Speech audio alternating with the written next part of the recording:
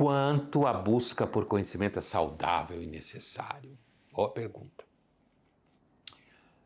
Ah, se a gente pensar em gente como Sócrates ou como Platão mesmo, aparentemente a busca do conhecimento, leia-se filosofia, era uma forma de você ser uma pessoa feliz, menos ignorante, portanto tendo mais conhecimento e portanto atingindo uma espécie de felicidade que na verdade é muito vinculada a uma idealização do mundo dos conceitos e dos filósofos, que não existe, é claro.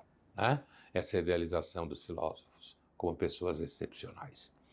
É, também, é claro, há toda uma tradição, essa inclusive no mundo espiritual e religioso, que vincula uma certa sabedoria de vida, né? portanto, pessoas já de idade avançada, associada há muitas leituras né, densas, há uma certa sabedoria que seria necessário, por exemplo, para você exercer a função de ministros religiosos.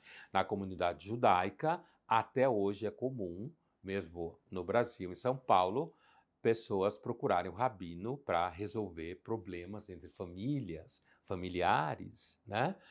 E não ir necessariamente aos advogados, aos juízes, porque a gente sabe o quão caro isso custa para todo mundo, né? Então, assim, é... mas é claro que o poder de sabedoria dos ministros religiosos entrou muito em decadência no sentido de um reconhecimento mais consistente, né? Inclusive porque tem uns ministros religiosos por aí que Deus me livre, né? Uh, para usar de ironia no assunto. Agora, uh, a ideia de se o conhecimento traz felicidade é necessário é uma questão em aberto. Ah, veja, os céticos, entre eles o Montaigne no século XVI francês, ou céticos gregos, ou mesmo David Hume no XVIII escocês, entendem que o conhecimento é necessário quando você o pratica bem e acaba descobrindo que, na verdade, não existe nenhuma teoria que fica de pé. E aí você vira cético. Né? E que isso seria necessário, inclusive, para você sofrer menos com aquela doença da espécie que é ter muitas crenças, né? Então, aí o conhecimento seria necessário não só para você não ser bobo, enganado, mas para você mesmo não sofrer internamente com adesão a crenças uh, que, na realidade, se você olhar direito, você vai ver que ela pode ser tão ridícula quanto qualquer outra. É, agora, não há dúvida que há toda uma corrente que vincula conhecimento à melancolia, né?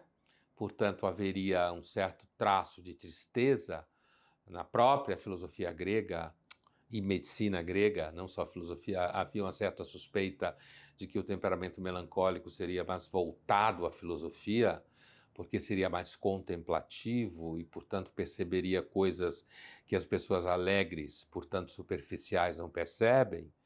Então há, ao mesmo tempo, uma longa tradição que vincula a imagem da melancolia, inclusive tem quadros pintados, né? Normalmente a filosofia, o conhecimento melancólico, a melancolia é representada como uma mulher que está num ambiente meio escuro, né?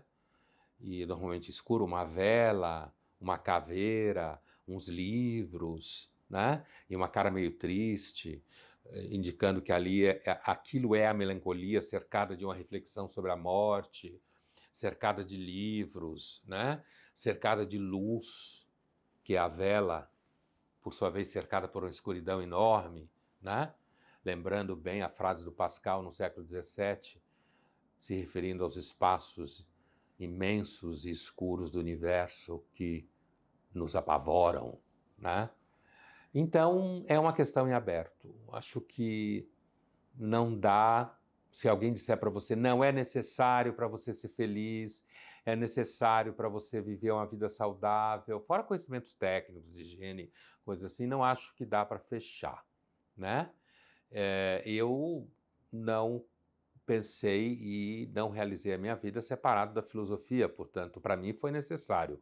Mas não acho que seja para todo mundo, nem acho que você ser filósofo academicamente falando torne você, ou qualquer outra coisa acadêmica, torne você uma pessoa mais, mais sábia, mais ética, melhor ou mais verdadeira.